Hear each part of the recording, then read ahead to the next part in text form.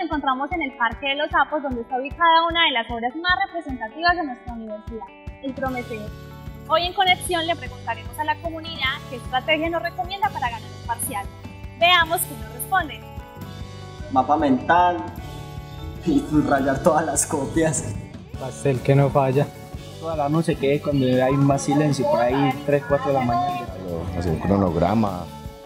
Calculadora, lápiz y borrador. De leer y mirar los apuntes. hacer las lecturas correspondientes y a cada lectura sacarle un esquema, un mapa conceptual para poderme ubicar dentro de la lectura a la hora de presentar el parcial. Y si les gustó lo que vieron, síguenos en nuestra fanpage Univirtual UTP.